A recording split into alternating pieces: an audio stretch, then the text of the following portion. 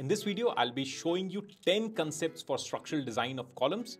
This is going to be an ultimate guide to column design. Let's jump inside the video.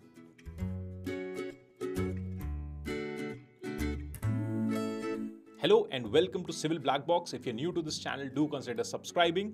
And if by the end of this video you get some value out of it, please do not forget to hit that like button. It really, really helps with the motivation as well as the YouTube algorithm.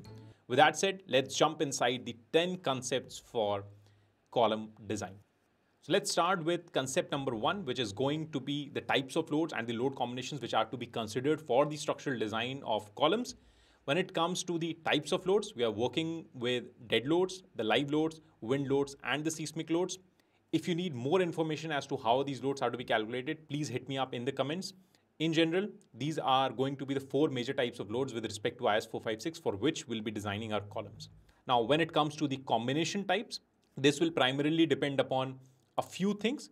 For example, it will depend upon whether we are designing our columns for ultimate loads or the failure conditions or with respect to the strength criteria or whether we are doing it with respect to the serviceability criteria. Now, both these criteria come from the IS 456, which is the plain and reinforced concrete code. This is the Indian standard code. Again, there is one more case for which the combination types differ. That comes for the proportioning part, but this is with respect to just the foundations. So we are not going to be too much interested in the foundation part. We'll be interested in the ultimate strength and the serviceability conditions, which are going to be coming from IS 456. So when it comes to columns, this is where we are going to be interested in. That being said, I have created an entire video on load combinations. Do check that out. The link should pop up somewhere on the screen right now and it should also be there down in the description below. This is going to be concept number one let's move on to concept number two, which is going to build upon the concept number one, which is all about live load reduction. Now, when it comes to the live loads or rather the load types, live loads is where columns differ from slabs and beams because this is where we have to reduce those live loads. Now, the reduction of live load comes from the Indian Standard Code IS 875 Part 2. This is clause number 3.2, which says that reductions in total imposed loads on floors may be made in designing columns. So whenever we are designing columns, we can at the end of the day make some reductions. Now the reduction will depend upon the number of floors, including the roof, which is being carried by the member under consideration. And it will also depend upon what reduction is there. So if the floor is carrying just one floor above it, there is going to be no reduction. However, if a floor is carrying two floors above it, there is going to be a reduction of 10% and so on and so forth. Now, if you want a more detailed version or a more detailed video on just the live load or reduction of live loads with respect to columns, do hit me up in the comments and I'll try to make a video on that. So this is all about live load reduction. Let's move on to the concept number three, which is going to be the load transfer mechanism. And while talking about the load transfer mechanism, I'll be taking you inside a STAAD Pro model. So this is a simple STAAD Pro model which I've created. Now what is going on here is that we have one, two, three, four, and five floors, or rather five floor plates. I have given it simple properties like 0.3 and 0.3. So all the members are defined with a 300 by 300 square size. When it comes to the materials, you are working with concrete. So everything is going to be default. I've done nothing special here. When it comes to loading, however, I have done, or rather I have provided a floor load value of 10. So if you can see, we have a value of minus 10. If I just double click on it, you can see we are working with a pressure value of minus 10 kilonewton per meter square. So each of this slab is taking up a load of minus 10. Now, why I'm telling you this is we need to understand the flow or the transfer of loads with respect to the entire structure. I'll bring you back to the geometry so that it's much easier to comprehend the floor which you see right here is taking up a lot many loads. So this is taking up a lot many loads and these loads at the end of the day get transferred on to these beams. So this beam right here, this beam right here, this beam right here and this beam right here. So all the loads which were on the slab get transferred onto these. That is something like this, which at the end of the day get transferred on to the columns. So this entire load gets divided into four parts, something like this. So if I'll just be able to make it. So in a triangular fashion, it gets divided into four parts with each part giving its load on the columns. Now what happens next is for each load which comes on this beam, this beam, this beam, and this beam gets transferred onto these columns. A similar scenario will be for the beam at the lower levels. This will also get transferred down. However, the loads which were coming from the top also get transferred down. Next up, we get three load cases moving down and so on and so forth. And I can prove that by simply going into the post-processing mode and checking it out. But before that, let's have a look at what these values are. So if I'll just double click on it, or rather if I just find the node to node distance, you can see this is four meters and this is again four meters. So we have a 16 meter square floor multiplied by 10 kilonewton per meter square value, which gives us a total load of 160 kilonewton per floor. So the total load per floor is going to be 160 kilonewton. And this is going to be the same for all the floors. Same for right here and same for right here and same for right here. Now I'm telling you this just because of the fact that we saw that this 160 is going to be divided equally along the four beams, which will ultimately be transferred onto the columns.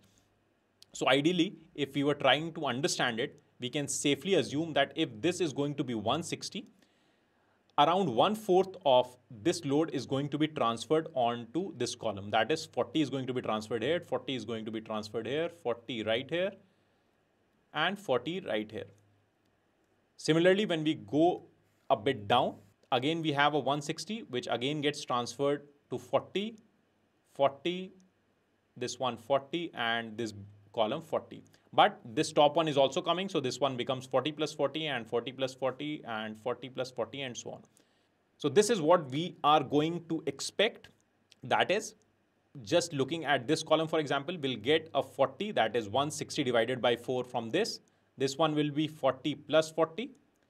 That is 40 from this and 40 from the above floor. This one will be 40 plus 40 plus 40 and so on and so forth. This one will be 40 plus 40 plus 40 plus 40 and finally will be getting 40 plus 40 plus 40 plus 40 plus 40. So this is what we should be getting. So this becomes 40, this is 80, this is going to be 120, 160 and 200. So this is what we are going to be expecting. Let's go ahead inside the post processing and check it out. I've already run the analysis. So all I did was went into the analysis, created an analysis command of all, went ahead and ran the analysis. So I've already run the analysis. So if I go inside the workflow and inside the post processing, I just have one load case. Right here, I'm inside the displacements. What I need is to have a look at the beam results. So if I just go inside beam results, and if I just click on any of these columns here and move right here, you can see I have the fx value for this as 40. And if I move down, this is going to be an fx value of 80, which we anticipated. This one is going to be 120, this one is going to be 160, and this one is going to be 200. In fact, you can see that by just clicking on this graph where we just look at fx and get rid of fy. So you can see the values uh, of the fx are increasing from top to bottom. Everything is getting increased in sort of a very straightforward manner. This one being 40, this one being 80, this one being 120, 160, and 200. This also tells me that the columns at the base take up much more load than the columns at the top. And that is going to be our point number four. That is, we have stronger columns at the base. This again comes from this exact figure that the columns moving downwards take up loads from all the above floors, which is not true for beams. So beams are only going to be taking the loads for this slab right here. So if I were to just look at one of these beams and have a look at the Fy value, which is going to be this direction. So you can see we are getting a value of 20, which is coming from basically 40 divided by 2 so this is going to be 40. So we had 160 that got divided into four parts. So each part got 40 kilonewton value. So we are getting a 40 kilonewton right here, which gets divided into two parts right here, which is 20 and 20 right here. So this will hold true for all the beams if I were to have a look at it. So if let's just have a look at it quickly. So if I just select this beam and look at its Fy value, you can see we are getting a, again a 20, this one again a 20, and this one again a 20. And this will not differ if I go down. So you can see we are again getting the 20 values right here for the Fy. And this also tells me that the beams are only taking the loads for that level. However, columns are getting loads in a cumulative manner, which is moving down, which brings us back to our fourth concept, which is going to be stronger columns at the base. Let's move on to the fifth concept, which is all about having stronger columns and weak beams. Now, this logic comes from IS 13920, 2016 version, which talks about the strong column and weak beam requirement. Now, I won't go into why this happens. If you want more details about why this is being done, do hit me up in the comments. I'll try and make a video on it. All in all, as per IS 13920, the values for the columns or the moments for the columns are taken at 1.4 times the value of the beams. This gives us, or rather the structural designer, the ability to by default design a stronger column because we are working with a 1.4 factor rather than working with a simple one factor. So we are ultimately over designing our columns with respect to beams. Now again, this comes from IS 13920 2016 version. Let's move on to the concept number six as to when should we be using IS 13920. And that comes into picture with respect to IS 13920 itself, from which if you look at clause 1.1.1, which says that for seismic zone 2, you have the option of not using IS 13920 at all. So for seismic zone 2, this is going to be optional. However, for seismic zone 3, seismic zone 4 and seismic zone 5, you have to mandatorily use IS 13920. And with respect to what these zones are, you can go inside IS 1893 and look at the chart, which clearly indicates which zones are which. For example, right here, the blue ones are going to be zone number two so if I were to look at this zone number two, this is going to be all the blue ones which you see. With respect to zone number three, which is going to be yellow. So zone number three is going to be all these yellows wherever you see it. This is going to be the zone number three. Zone number four is going to be these greens. So every green portion which you see is going to be our zone number four. And zone number five is going to be everything which is on orange. So right here, right here, right here, and all these locations. So these are going to be our zone number 5. For these cases, we are going to be mandatorily use 13920, IS 13920. However, for seismic zone 2, that is an option. Moving on to the concept number 7, which is all about the column size. When it comes to column size, there are four key parameters based upon which we decide the column size. The first one is the minimum size itself. Now, the minimum size comes from IS 13920 clause 7.1.1, which says that the minimum dimension of your column shall not be less than 300 or 20 times dB, where dB is going to be the dia of the longitudinal reinforcement bar in the beam. So whatever beam is running through this columns, for example, if this is a column and this is a beam, and if there is a beam, uh, a longitudinal reinforcement running right here with a dimension of say dB, this minimum dimension cannot be greater than or cannot be rather less than 20 times of this dB. Again, dB is going to be the largest diameter of the longitudinal reinforcement. Also, this cannot be less than 300 mm. So these are the two criteria. Now, if we have to look at the first criteria in a bit more detail, it simply boils down to this table where if we define the dB, that is the largest dia of the longitudinal rebar for the beam, if it were 12, so if the beam with which the column is connected has a dia of 12, we can go up to 20 dB, that is 240 is our minimum. But since as per IS 13920, we have to take a minimum of 300, this becomes 300 by default. For 16, we have to go up to 320, we cannot work with 300. So if a beam has a 16 dia rebar or the maximum dia of the rebar is 16, we cannot simply choose the 300 mm size of column. We have to go for 320 and so on and so forth. For 20, we have to go with 400, 25, 500, 32, 640. Next up, we have the structural loads. Now, if the structural loads go up, obviously the column size will ultimately go up. With respect to grade, we have two factors related to it. If the structural loads go up, the grade of concrete has to be increased if you want to keep the sizes the same. So the column size will ultimately depend upon the grade of concrete. If we choose a higher grade of concrete, the column sizes go down and vice versa.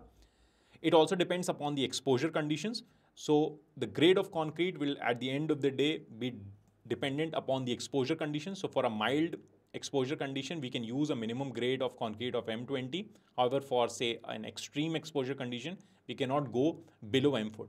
So if we are choosing a grade and that grade depends upon the exposure and the grade depends or rather affects the size of the column, all of these are interdependent. Last but not the least, it is all about concrete and steel balance. Now, when it comes to the RCC design itself, this concept is very important that concrete and steel play kind of a seesaw together. So if I were to increase the concrete, the steel portion would go down. So if you increase the sizes of the members to a specific limit, of, of course, the steel can be taken down because the strength will be acquired by the concrete or taken up by the concrete rather than by the steel and vice versa. So if you increase the steel again to a specific limit, the concrete can be reduced. At the end of the day, we play with balances. So concrete and steel should be in some kind of balance, both in terms of the strength, in terms of the aesthetics, and in terms of the economy. So this was point number seven or the concept number seven. Let's move on to the concept number eight, which is going to be about the column shape. Now the column shape will depend upon the condition whether the load that is being applied is a pure axial load or it is an eccentric load. Now pure axial loads do not come easily. So this is kind of a theoretical case. So for pure axial, we can work with symmetrical sizes or rather symmetrical shapes. So we can work with squares and we can work with circles. However, when it comes to the eccentric load, which is going to be the usual case, we'll be working with some kind of a rectangle where one dimension is greater than the other, just to take up that eccentricity, take up that those moments. Building upon that, concept number nine is going to be the column orientation itself. Now, the column orientation whether it is inclined something like this or whether it is inclined something like this will depend upon the load distribution and it will also depend upon the entire plan. So if this were the plan of our structure, so we, we are looking at our structure from the top and these are the column locations. And if you're working with values like wind loads and seismic loads, where those loads tend to work in both these directions, we can feel or rather have a feel of this entire structure that the moment of inertia is going to be lesser along this axis than along this axis. Again, this will depend upon the dq factor if you remember. Uh, if you don't, please hit me up in the comments. I'll try and make a video on that too. But you get a general sense that if I were to try to rotate my structure along this direction, it is going to be much easier to rotate it. And hence, we need a bit more stiffness in this direction, which can only occur if I increase the column dimensions along this side. So the better solution in this case will be to increase the column dimensions along this side and hence the column orientation in again a general case for such a layout would be something like this. Now if I were to move this in a different direction, the column orientations will again of course differ and it will be along the other side because the moment of inertia has to be increased on the other side just to resist the earthquake loads and the wind loads for that axis. That's all about the column orientation. Let's move on to the final concept, which is going to be the column reinforcement. Now, this comes from IS 456 clause 26.5.3, where we have been defined the minimum and the maximum reinforcements. So the minimum reinforcement with respect to IS 456 comes out to be 0.8% and the maximum comes out to two values. So it's uh, mentioned in the IS 456 that we can choose a value not more than 6%. However, in the note is it is mentioned that the use of 6% reinforcement may involve practical difficulties in placing and compacting of the concrete. Hence, lower percentage is recommended. So it is also mentioned that where bars have to be lapped with those in the column under consideration, the percentage shall usually not exceed 4%. So in most of the cases, when we were when we are working with IS 456 and we are working with lap joints, that is one joint placed over the other in a lap fashion, we are going to be working with a maximum percentage of steel of 4%. However, if you're working with couplers or mechanical couplers, we can go up to 6% maximum steel. Next concept is the number of longitudinal bars which you can provide. So for a rectangular column, you can have a minimum number of rebars as four. However, that for circular columns is going to be six. So you have to provide at least four bars for the rectangular column and at least six bars for the circular columns.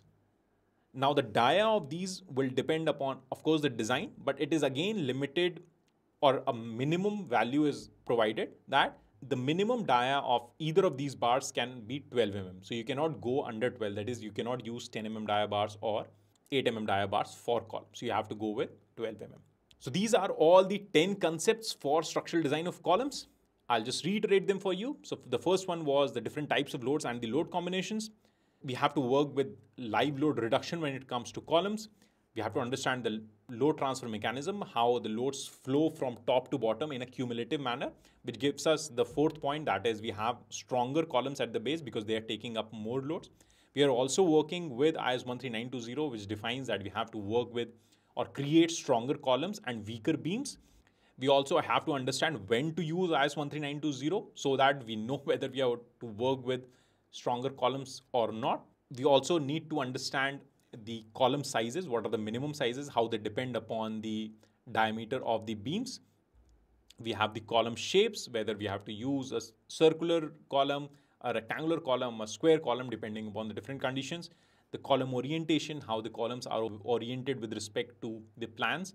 And finally, what are going to be the column reinforcements. So these were the 10 concepts with respect to the structural design of columns. If you like them, please hit that like button. It really, really helps with the motivation. If you have any more video suggestions, please hit me up in the comments. Thank you for watching and I'll see you on the next one.